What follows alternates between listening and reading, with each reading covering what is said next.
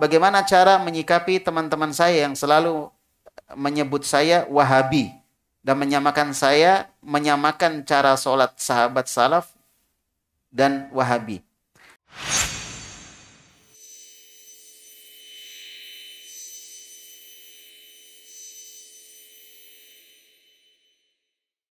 Ya itu tuduhan nggak usah diperhatikan. Tuduhan. Ya kita bersabar aja, beramal saja ya. Biasanya tuduhan wabahi, wahabi ini awal-awal datang itu dari orang-orang syiah.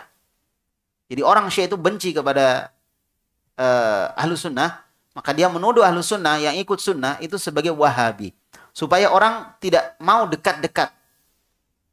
Dan ini untuk zaman sekarang nggak pas. Maksudnya, Eh, zaman sekarang adalah orang adu argumentasi, adu keilmiahan pendapat. Kekuatan pendapat tergantung dari kekuatan dalil yang digunakan. Kalau tuduhan Wahabi, Wahabi, apa bedanya kita dengan anak-anak kecil? Tuduhan-tuduhan seperti itu ya. Jadi kalau misalnya dituduh seperti itu, dia buktikan di, di mana sisi salahnya kita. Hukum apa yang kita langgar, hukum negara apa yang kita langgar, dan hukum syariat apa yang kita langgar. Kalau misalnya kita ada pelanggaran dan dia bisa sebutkan pelanggaran itu, alhamdulillah kita bersyukur. Ada yang menunjukkan kita dari kesalahan yang kita lakukan. Tapi mana? Adapun beda pendapat, itu biasa. Ya, itu biasa. Dan ketika kita beda pendapat dengan orang, bukan berarti kita intoleran. Tidak toleran kepada orang. Tapi intoleran adalah ketika orang tidak mau orang lain beda pendapat dengan dia. Itu namanya intoleran. Siapa yang seperti itu? Orang menuduh Wahabi-Wahabi menunjukkan dia nggak sepakat dengan kita. Inilah yang dimaksud dengan intoleran. Jadi ini seperti maling teriak maling gitu. Ya, dia yang intoleran, tapi dia menuduh orang intoleran. Apa aslinya artinya intoleran? Tidak punya toleransi gitu. Ketika mereka betul-betul punya toleransi, harusnya nggak ada masalah dengan kita. Karena tidak ada hukum yang kita langgar. Kenapa mereka bermasalah dengan kita? Ini menunjukkan mereka intoleran. Betul, dengan non-muslim mereka toleransi. Tapi kenapa dengan kita tidak? Ada masalah apa? Paham sudah? Berarti itulah yang dimaksud dengan intoleran. Jadi ketika ada orang mengatakan kamu intoleran, ketika dia mengatakan seperti itu, dialah yang sebenarnya intoleran.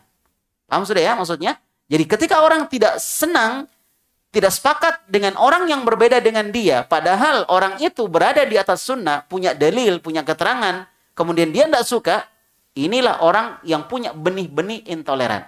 Kalau dikatakan intoleran bahaya untuk negara, ini bahaya. Sampai kemarin kita mendengar ada seorang yang mengatakan uh, orang yang bercadar, yang celana cingkrang, jangan tinggal di Indonesia. Menunjukkan dia intoleran.